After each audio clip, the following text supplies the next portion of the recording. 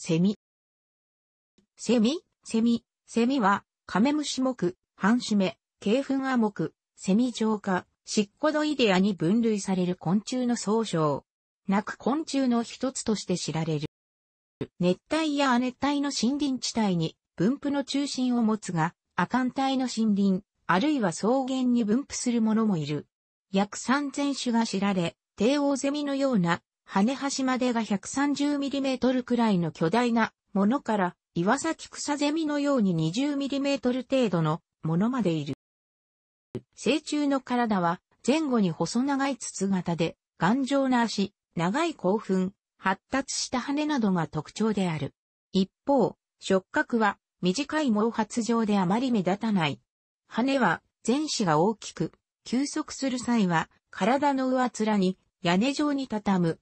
前肢後円と後肢前円は針状に湾曲していて、飛翔する際はこの針上部で前後の羽を連結して羽ばたく。一般に飛翔能力は高く、羽音を立てながら、かなりの速度で飛ぶ。オス成虫の腹腔内には音を出す発音筋と、発音膜、音を大きくする、共鳴質、腹弁などの発音器官が発達し、泣いて、メスを呼ぶ。発音筋は、秒間2万回振動して、発音を実現するとされる。また、外的に捕獲された時にもなく、気管の拡大によって生じた共鳴質は、腹部の大きな空間を占め、鳴き声の大きな中型種であるヒグラシや、ヒメハルゼミなどでは、腹部の断面を見るとほとんど空に見えるほどである。セミに、禁煙の横ばいや、泡吹き虫などにも、同様の発音器官があるが、これらは、セミのように人間に、はっきり聞き取れる、音量、音域ではなく、一般に、なく昆虫とはみなされない。一方、メス成虫の腹腔内は大きな卵巣で満たされ、ビブには硬い産卵管が発達する。セミは卵幼虫成虫という不完全変態をする虫である。日本の場合、成虫が出現するのは主に夏だが、春ゼミのように春に出現するもの、朝鮮毛長22のように秋に出現するものもいる。温暖化が進む近年では、東京などの都市部や九州などでは、10月に入っても、わずかながら、セミが鳴いていることも珍しくなくなった。成虫期間は1から2週間ほどと言われていたが、これは、成虫の飼育が困難ですぐ死んでしまうことから来た、俗説で、野外では1ヶ月ほどとも言われている。さらに、幼虫として地下生活する期間は3から17年、アブラゼミは6年に達し、短命どころか昆虫類でも上位に入る寿命の長さを持つ。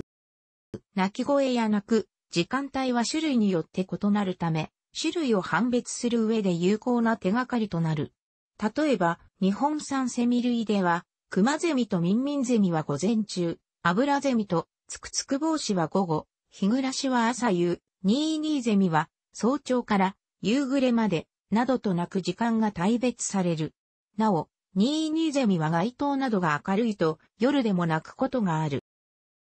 夏に多いとはいえ、真昼の暑い時間帯に鳴くセミは少なく、比較的涼しい朝夕の方が多くの種類の鳴き声が聞かれる。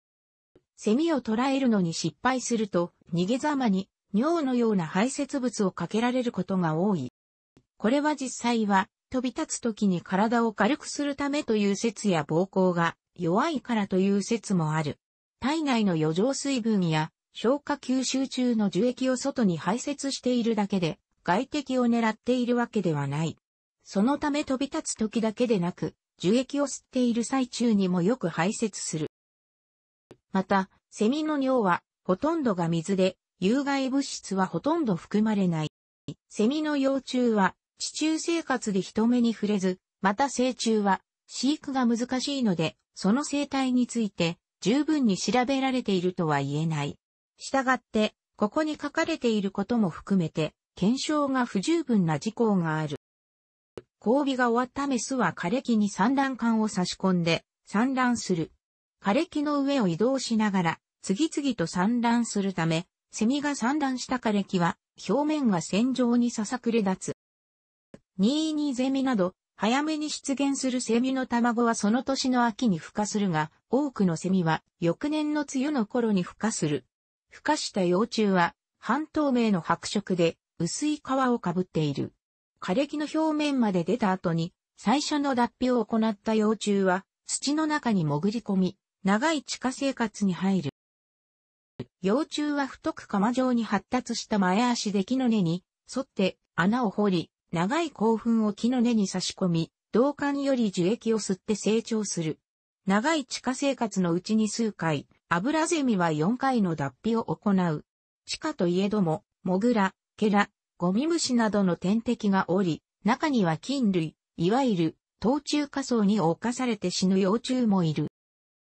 若い幼虫は、全身が白く、目も退化しているが、修霊幼虫になると、体が褐色になり、大きな白い複眼ができる。羽化を控えた幼虫は皮下に、成虫の体ができて複眼が成虫と同じ色になる。この頃には、地表近くまで縦穴を掘って、地上の様子を伺うようになる。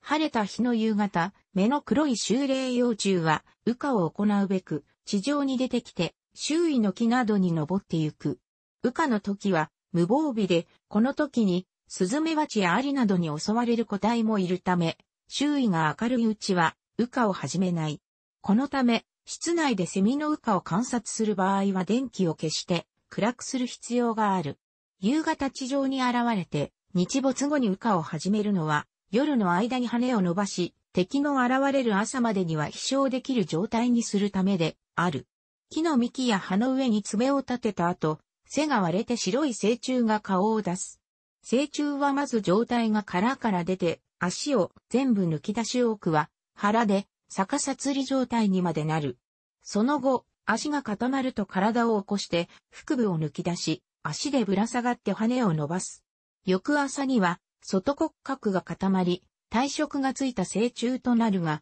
羽化後の成虫の生成熟には、有種ともに日数を必要とする。オスはすぐに泣けるわけではなく、数日間は小さな音しか出すことができない。ミンミンゼミのメスは、交尾直前になると、オスの鳴き声に合わせて、腹部を伸縮させるようになるので、その時期を知ることができる。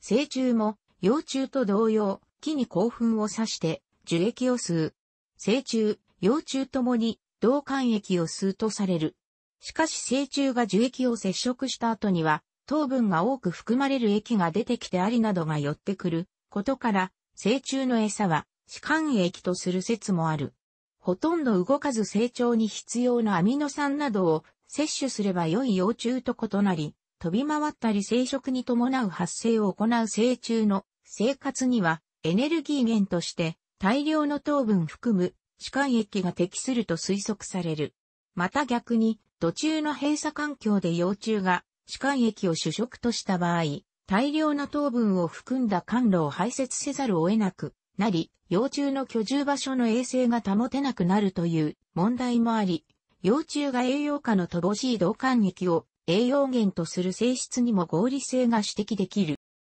成虫には雲、カマキリ、鳥類などの天敵がいる。スズメバチの中でもモンスズメバチは幼虫を育てる獲物に、セミの成虫を主要な獲物としていることで知られ、個体群の存続に地域のセミの多様性の高さを必要とする。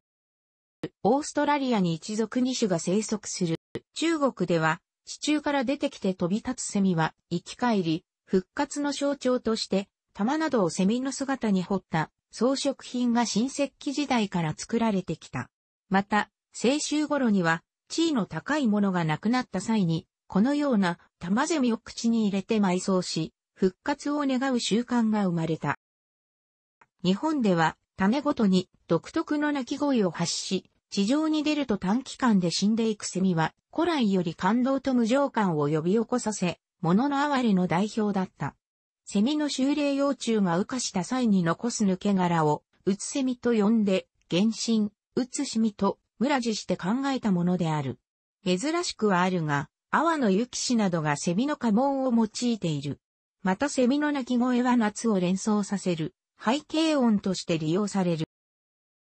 日本では、セミの幼虫、または、その抜け殻について、トンボでいうところの、ヤゴにあたるような全国共通の名称は存在しないが、多くの方言で成虫と区別する名称が存在する。一方、うつセミは、セミの抜け殻の古語である。また、セミの抜け殻をも抜けと呼ぶこともあるが、この言葉は、蛇など脱皮をする動物全般の抜け殻を指しセミに限らないほか、現在はもっぱら、もぬけの殻という慣用句として用いることがほとんどである。セミの抜け殻は、中国では、古くから、先税、船体、または、全体。セミ体とも書くという気薬として使われており、止めかゆ、解熱作用などがあるとされる。ちなみに、日本で使われるセミ体配合の漢方法剤に、小風酸があり、保険適用処方でも服用できる。中国や東南アジア、アメリカ合衆国、沖縄などでセミを食べる習慣がある昆虫食参照。中国河南省では羽化直前に途中から出た幼虫を捕らえ、素揚げにして塩を振って食べる。山東省では、河南省と同様の方法のほか、煮付け、揚げ物、炒め物などで食べる。雲南省のプーラン族は夕方に弱ったセミの成虫を拾い集め、茹でて羽を取り、蒸してからすりつぶして、セミ味噌を作って食用にする。このセミ味噌には晴れを抑える薬としての作用もあるという。幼虫も食べることができる。日本の長野県秋山郷地方には、セミの抜け殻を揉んで耳だれにつけて治療する伝統が。楽しくご覧になりましたら、購読と良いです。クリックしてください。